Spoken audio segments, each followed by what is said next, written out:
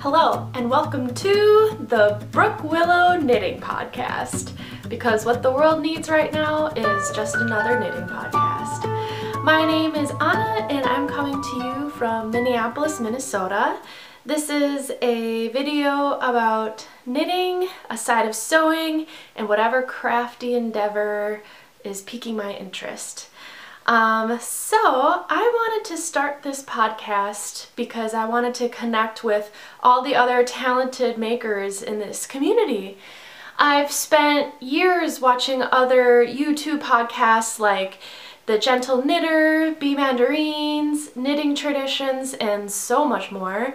And it's just so fun watching them talk about the projects they're making, their completed works, buying different types of yarn and even like opening my mind up to new books or magazines that are out there.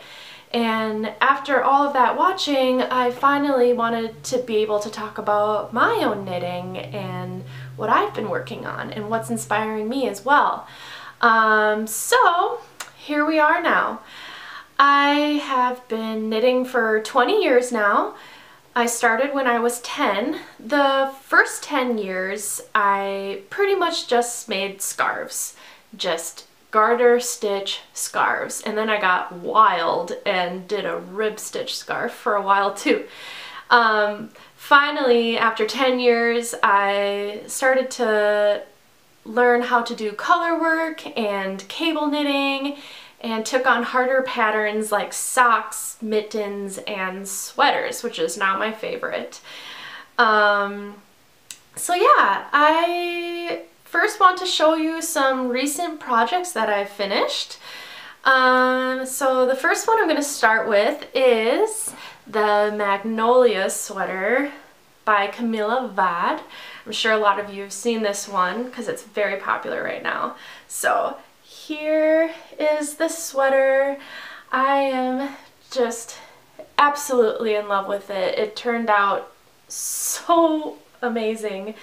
Um, I use Knitting for Olives Merino and Knitting for Olives Silk Mohair and I used two strands of each, four strands total, to make this thicker, fluffy, drapey, squishy fabric.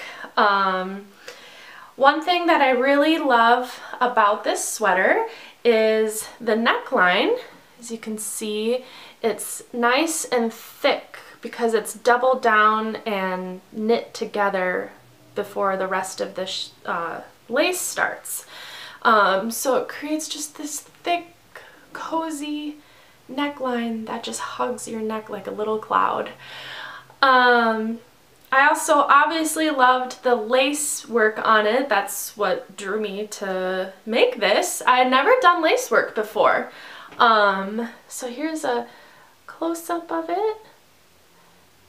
And the way that she designed the pattern, it was so easy to follow. It was used, she used a knitting chart for the lace work. So if you really like knitting charts, this is a project for you for sure. Um, yeah. So unfortunately, I finished this in the middle of May, right as it got warm up here in Minnesota. Um, and so I haven't really been able to wear it yet and I might not be able to wear it until September but I will be looking forward to the day that I finally get to. Okay so the next project I wanted to show you is some socks. Here they are. They are the Scandinavian sock by Sari Nordlund. Um, I absolutely love this pattern. It was exactly what I wanted was some really intense color work socks. Um, it wasn't that hard though to make. I really liked it because um, in the knitting pattern there wasn't more than five stitches of one color so you didn't have to do any long floats so it made it very seamless and easy to just work your way down without having to worry about those long floats. Um, the yarn I used may have been a mistake and I knew it was going to be a mistake, but I still knit it anyways. Um, I was using up some old scrap yarn from a mitten project that I made for my mom this year. And I just really liked these colors together. It is Rauma Garns, um, some type of wool. I'll put it in the description. Um, and it's not sock yarn. And I knew that I should have used sock yarn, but I was impatient to order sock yarn, so I just started knitting with this yarn. I did run out of the yarn and had to go back to the yarn shop and even the woman there was telling me that I should use sock yarn and I still didn't listen to her. Um, so these are probably just going to be some house socks that I wear around and not in boots to try to extend their life as much as I can. Um, loved the pattern so much that I started making another pair. Um, so I want to show you this bag first that the socks are being stored in. This adorable bag. It's not even official knitting bag. I ordered some shoes a couple weeks ago and they arrived in this bag and it's this perfect linen material and I'm like how great for a project bag. I love it so much and it has the little drawstring. Big fan of it. So let's see what's inside. Same sock, different color as you can see here. There it is, this nice ox blood color with like a light gray. Um, it really shows the pattern more too, which I liked. Um, again, I used the same type of yarn as the blue ones, so I'm just knitting another pair of house socks. Hopefully it lasts longer. we'll see. I just love it so much I couldn't resist. But going forward, I am going to use sock yarn. Okay, so the next work in progress I have, or whip if you will, is the Cottongrass Jumper by the Petite Knitter. So here it is so far. I have the yoke done and now I'm just working on the body. Um, so funny story about this sweater. I started it about a year ago um, and I am on my fourth try with it. I am somewhat of a lazy knitter. I don't like to swatch. So the first time I made it, it was way too small and I tore it all out. The second time I made it, it was still too small. I tore it out. The third time I knit it, I made another grave error and I used two different shades of cream. So the top part was like an uh, maybe a cream and then the bottom was an off-white and so I knit the whole thing. I just had ribbing left on one sleeve before I noticed it in daylight that there were two different colors and if I'm going to be spending all of these hours making a garment, I need it to be perfect and it would have stood out to me too much. Maybe no one else, but for me I just couldn't see past the two different shades of white. So I tried cutting off the top portion of the different shade of white in hopes to knit from here up in the correct shade and it didn't work. So I tore it all out again.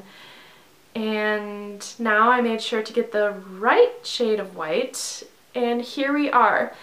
I also decided that I wanted to make it more of a rustic feel. So I did add a strand of Knitting for Olives mohair to the garment to give it just like a little bit hairier look. Um, throughout the whole thing and it kind of darkened up the color too. The main yarn that I used was this Valeria yarn that you can get from those like crochet store chains. There was one at the mall I was working at that it just was really convenient to pop in there and grab yarn. But it's a cashmere, merino, and maybe acrylic blend. Um, I do like it. It's super soft and warm. And then the silk mohair that I added to it was this Knitting for Olive strand. Um, I know that the colors do not match at all, but I wanted to kind of darken up the color a little bit because this was a little too camel and I have too much camel colored clothing in my wardrobe right now. So I wanted to darken it up with this deep rust color.